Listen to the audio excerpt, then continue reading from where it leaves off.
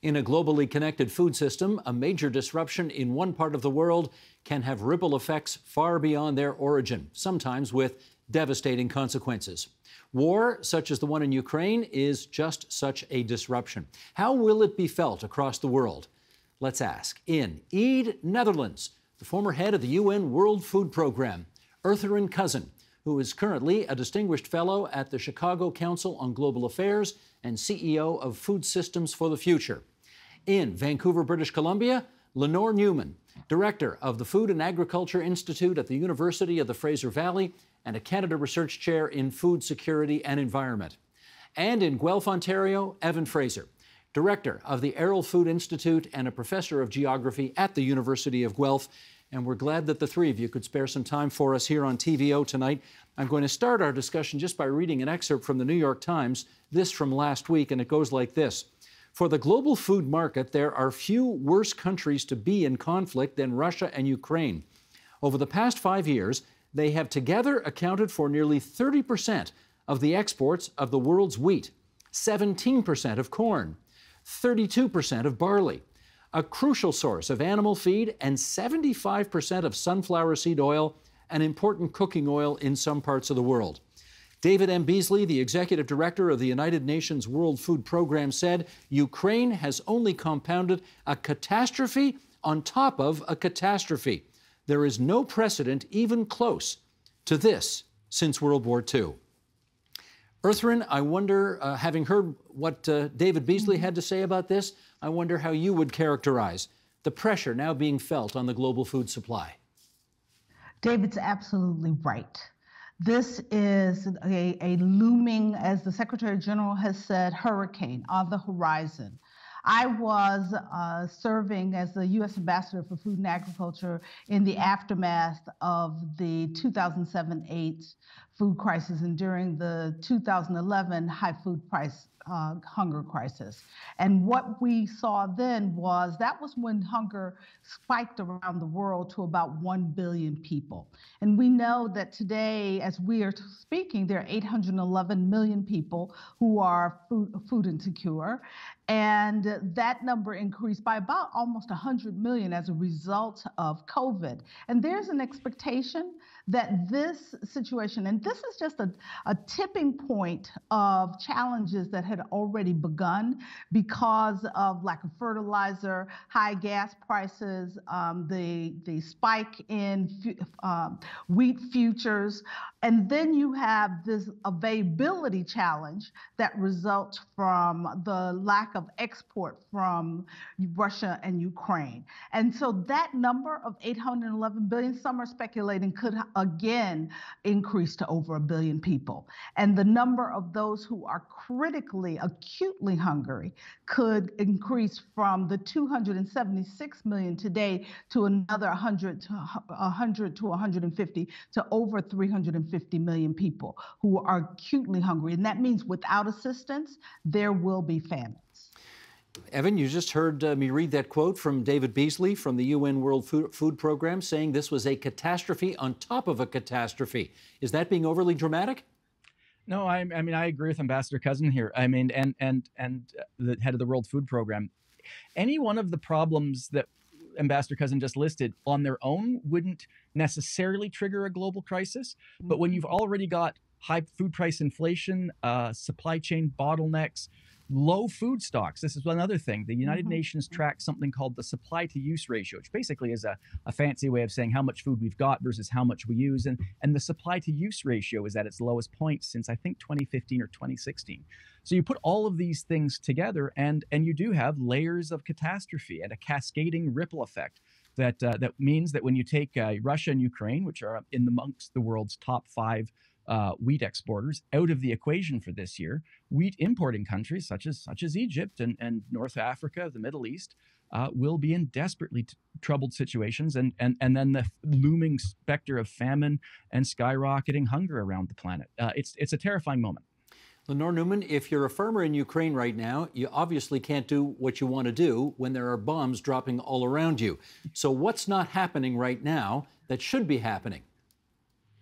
Yes. Well, obviously, in Ukraine, we are seeing total disruption of uh, the farming cycle for the most part. It's uh, um, a long held historic truth that war is particularly hard on farmers. Uh, but I think I have to stress, um, as my colleagues mentioned, it's the waves of disruption flowing out from that that are particularly damaging. And uh, I don't know that we've entirely mm-hmm. mentioned yet the uh, disruption of fertilizer flow from mm-hmm. Russia and Ukraine mm-hmm. is mm-hmm. also critical, and that's impacting uh, South America and Africa and well, the entire world as well. And as as it has been mentioned as well, it's on top of three years of basic constant disruption, climate hmm. change, mm-hmm. pandemic, and I'm usually an optimist, and I usually say, oh, a one-off situation. The food system is really good at being resilient. This time, it's uh, there's fatigue. There's disaster fatigue, one could say.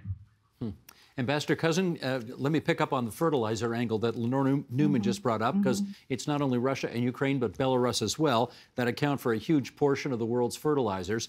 What mm-hmm. are the mm-hmm. ripple effects of price for fertilizer going through the roof?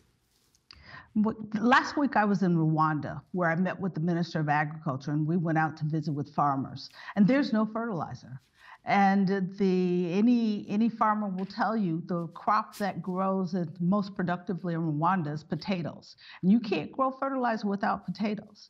And the FAO has told us that up to any 30% reduction in fertilizer represents a 30% reduction in yield that could potentially impact about 100 million people not having access to food. So you think about the fact that there's a higher food price in the global food system and less production, particularly in for, with smallholder farmers in places that are as a as a group net importers. And so you have less product produced locally and regionally and you as a result you have you you have higher food prices for imports, which creates a challenge that we're, we traditionally are talking about how do we pro- provide support for those who are chronically hungry. What we're talking about is working people who will no longer have the ability to afford bread.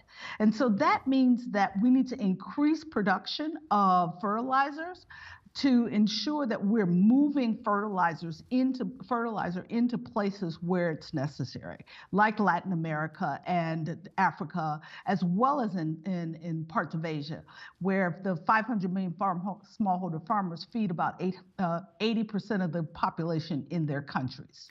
Well, Evan, the trick with that, of course, is that uh, energy prices are going through the roof as well. How do you move that fertilizer to where it needs to go to when you've got to be spending twice or three times as much for energy? Well, I mean, again, we're just we're just describing the same problem. I mean, this is this is another aspect of these layers of catastrophe the world is mm-hmm. is facing right now. And and there's a, I think there's an important um, element that I is worth is worth doubling down on because because in in a place like Canada, soils are pretty deep, pretty organic, pretty well managed in general. So there will be a lot of surplus nutrients from last year's fertilizer that will help buffer Cana- most Canadian farmers, not all, not perfectly, but will help buffer most Canadian farmers from from not being able to put as much fertilizer on this year because because of the high costs. A place like Rwanda with very very sandy thin soils. Uh, they need the annual inputs of fertilizer quite desperately. Mm-hmm. So once again, we see a, a wedge effect driving a, a wedge between the uh, the the rich north and the global south, so called, and uh, and and again we see a thing that exacerbates or a function that exacerbates inequality in this world, and mm-hmm. and and again we just see another layer of this catastrophe uh, mm-hmm. unfolding in front of us. Lenore, can you tell how much of the problems that you've all been describing so far are the result of the war? And how much are the result of sanctions that have been put on Russia? Can we tell that yet? I don't think we can know entirely yet. And I do think it's really important that the problem is these problems are tangled with everything else going on in the mm-hmm. food system. And so when we look at Ukraine and Russia being large exporters of major crops such as wheat, that's important, but we need to remember that's not, they're not large producers when we look at the whole pie. And we could easily adapt if the rest of the world was just totally fine. But of course, it isn't. We have crippling labor crisis, we have the mm-hmm. climate crisis, mm-hmm. um, usually we would be already figuring out how to account for the missing production, and we wouldn't be worrying about what effect the sanctions were having, what effect the war was having. The reason we're worrying is everything else is just mm-hmm. spread absolutely wafer thin. Hmm. Evan, anything you want to add to that in terms of w- where you think the preponderance of responsibility lies, sanctions versus the war? Yeah, I, I, mean it's it's a tangled web. It's a Gordian knot. I mean, I don't I don't think we can disentangle these things. I, I hmm. guess I my my one concern though in this conversation is that it really does put us in a headspace, and I, I don't think this is a helpful headspace, that we can solve this problem simply by boosting production all over the world.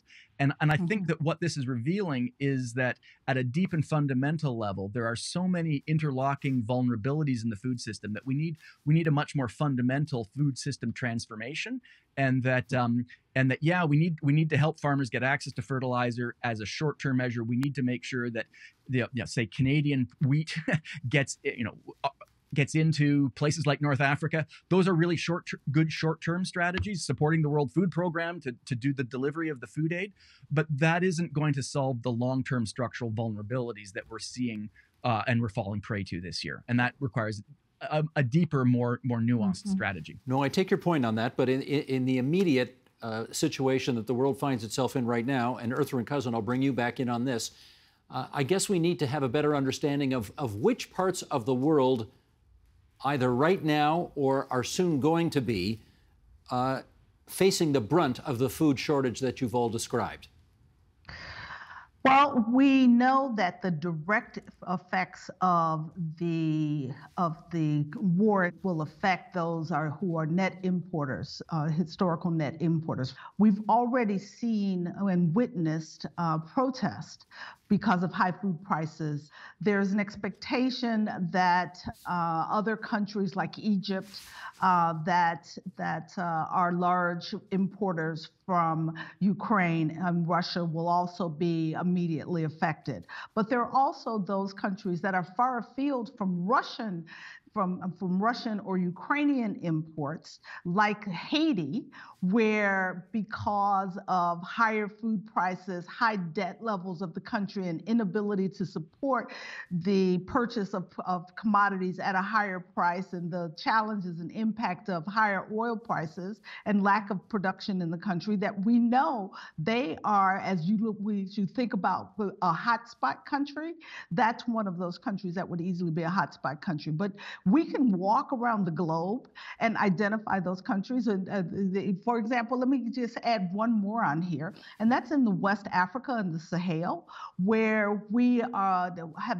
we recognize that the opportunity to increase production there in a follow-on to the challenges that they've been having with climate-related poor agricultural production, we, we the the opportunity to invest in um, increased access to foods, the governments don't have the capital. Mm. And so, trying to identify how we can not only provide the immediate humanitarian support that is necessary in those places, but also the tools that are necessary because we are three months away from the beginning of the planting season in Sahel. What is the work that the international community must do now to invest in providing the seeds and tools that are required to ensure that, that we don't expand the challenge even further because we've, uh, we failed to provide those farmers with the tools that they need. So I'll stop there because I can walk you around the globe and tell you how this is going to affect so many countries.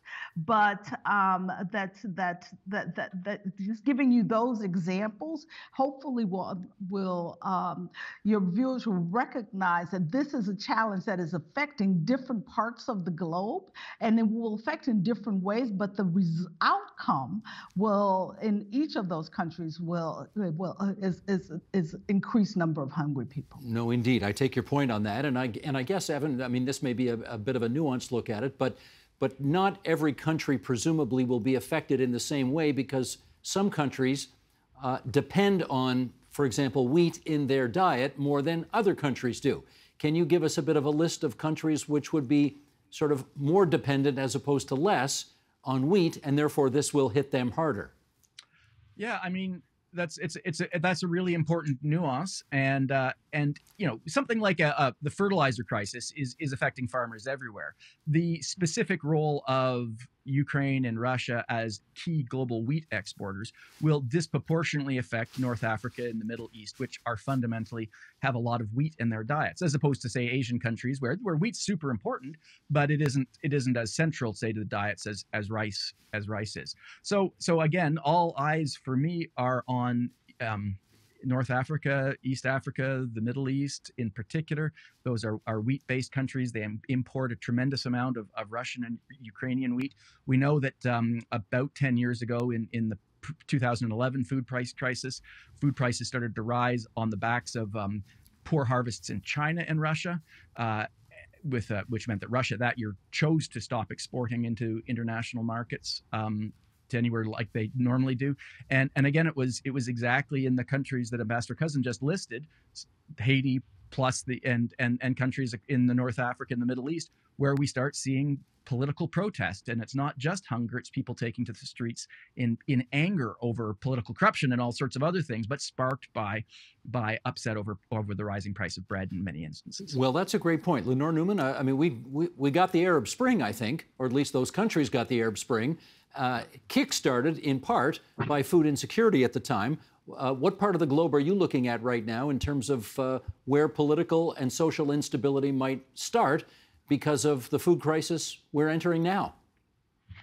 Well, I think one of the things is it's it's going to hit us here at home as well, which is mm-hmm. a little unusual. We're usually quite sheltered because of all the resiliency in the system, but uh, one of the things I'm watching carefully is uh, the North North Americans are quite stretched right now because of inflation, and they are going to be walking into stores and going, "Wow, things are really expensive." They're going to mentally shift more of their budget into food because you can't shrink that budget too much because we have to eat. And uh, that means people will be spending less on other areas of the economy. And people are also going to be even more financially stressed. So I think this is a crisis that actually spreads right around the world. And there's very few areas that are going to be bystanders. Of course, we're going to see the most serious hunger in the Middle East, in uh, Northern Africa. We're going to see a, a, bit of a supply crisis in South America because of the lack of fertilizer. But I think even here at home, we're not going to be playing our usual role of watching it unfold.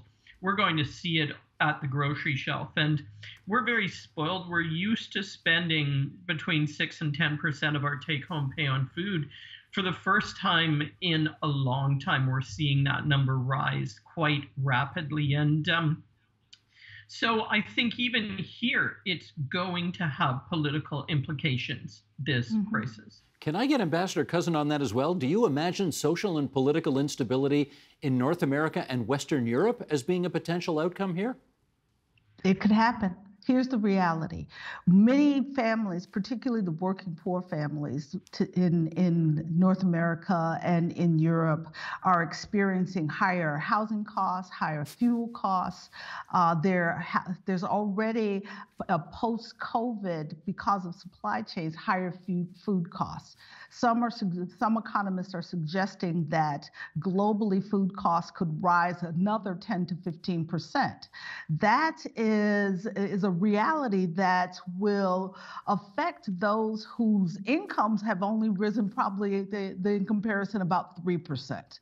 And so the challenge of families trying to meet all of their needs will result in the kind of protests and political um, and, and, and political issues that we saw in the, the, the early days of COVID with those log lines at food banks when families could no longer afford food or empty shelves when there were no when the effects of, of covid uh, limited the the uh, supply chain uh, affected supply chains and products on shelves.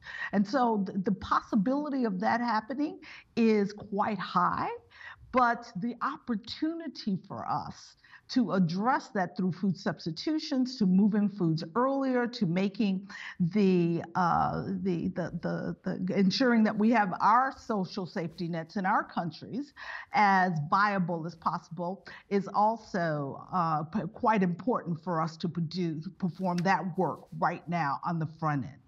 Well, Evan, let me read this off of National Public Radio's website because uh, the author of this piece uh, suggests another solution here.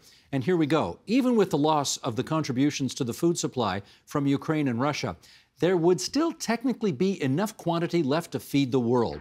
In other words, the only problem will be the increased price of that food. This in turn suggests that the immediate solution will be monetary. Okay, Evan, take us through that. Do you think this is a problem that money can solve? Well, it's such a good question, and and it's such an interesting quotation because it's on some levels the uh, the author of that statement is absolutely correct. If you if you add up all of the calories available on the planet and you divide it by all the people, there, there's more than enough. It's uh, 27, 2800 calorie dietary calories available per person per day, but they're not distributed very well. They're also not necessarily the healthy calories. Uh, there's a lot of carbohydrate in there, and there's not enough fruits and vegetables, so there's a nutritional deficit going on. Um, and uh, and then there's food waste. Uh, you know, about a third of the food we produce is, is wasted. So on that level, it's it's not a problem that will simply be solved by producing more. If if if it were only that simple, it, actually this wouldn't be as complicated a conversation to have. But what we need to be doing is, I think, in the very very short term. Uh, supporting organizations like the World Food Program, hoping that the Canadian wheat harvest that's coming off, the winter wheat harvest that's coming off in the next next couple of months, uh, is is is robust uh, doing whatever we can to keep the the global trade mechanisms going to get the fertilizer that we've got moved to get the grains we've got moved uh, and and working at a multilateral level on that one. But at the same time we, we have to be doing i think two additional things that are medium and longer term strategies. And one ambassador cousin just mentioned we need a robust social safety net to protect the people who are left out of the modern world that aren't benefic- benefiting from economic growth and opportunities. The, the marginalized communities on this planet of which there are far too many uh, we need to have a safety net to protect them or those people will grow uh, uh, be the source of tremendous dis- unrest and, and, and human suffering. And then I think there's a wake up call that the the fundamental assumptions of the world food system good grain uh, good weather seamless trade all these things that we sort of assumed over the 20th and early 21st century were, were sort of fundamental. Well those assumptions assumptions are pretty rickety right now and so i think we have to shorten supply chains build resilience into the system that will cost money which redoubles uh, it increases the importance of doing social safety nets but I think so. I think it's it's it's it's in the medium and long term that we need to be building resilience uh, in our systems, and and in the short term, hoping that we can get you know prairie grain out to Africa to keep prices down there. Well, I should follow up with Lenore Newman on that very angle. We do. I mean, the prairies, uh, right? Lots of lots of wheat there. Uh, Saskatchewan, lots of potash there, which you need for fertilizer. How how can Canada be part of the solution here? Well, I think we already are uh, part of the solution because the market is pushing uh, the planting of more spring wheat uh, than we usually would. And Canada does play an interesting role in that uh, we plant more spring wheat than a lot of other regions. So we do have the ability to pivot and feed into that supply. But I do feel Evans raised a really critical point in that uh, we're playing reactive politics here constantly. Mm-hmm. The last four years have been the food system stumbling from crisis to crisis. And the quote that you gave us is interesting because over the last few years, we've seen government write us checks for COVID, and everyone was totally, yeah, we need to do that. And then recently for fuel costs, we are getting another little check, and it's a bandage, and it's important. We have to do bandage type things, but uh, eventually you do bleed to death if you only use bandages. And I think hmm. Evan is correct. We need to look at whether this idea of a globalized food system is now under threat by a larger series of interlocking crises. And yeah, the medium and long term things, we need to start thinking about resilient supply that's local, that's intensive, we need to start seeing how we move surplus more rapidly around the system as it's needed. I think to use an overused phrase from the pandemic, we have to accept there is a new normal in the food system, and it's not as pleasant and easy as the period between the end of World War II and about 10 or 20 years ago. And we need to adapt to that. Well, you've all made that abundantly clear, unfortunately, during the course of our conversation here, but I think our viewers and listeners know a lot more about this now than they did half an hour ago. So, can I thank Lenore Newman in Vancouver, British Columbia, Evan Fraser in Guelph, Ontario, and Ertharin Cousin in E, Netherlands, for joining us on TVO tonight and making us all a lot more knowledgeable about this issue. Many thanks, you three. Thank you. Thank you very much. Thank you. The Agenda with Steve Paikin is made possible through generous philanthropic contributions from viewers like you. Thank you for supporting TVO's journalism.